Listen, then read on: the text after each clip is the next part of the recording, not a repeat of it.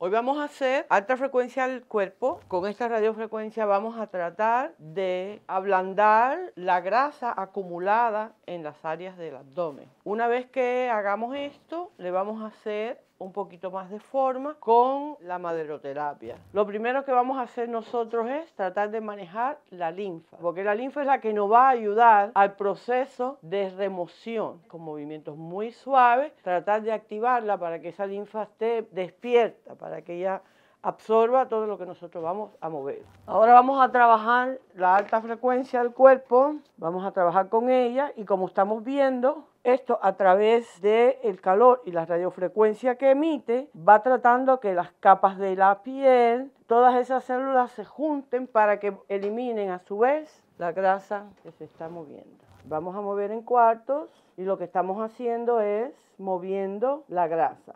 La maderoterapia se basa en estos palos, y yo voy a usar este en específico. Este baja muchísimo todos los pedazos de atrás de, la espalda, y lo mejor que tenemos nosotros es esto, que va a ser la función del vacuum que hicimos con la máquina. Y este vacuum va a mover grasa y la va a traer hasta donde nosotros queremos. Si quieren saber más de este procedimiento, pueden visitarnos en mainuseria.com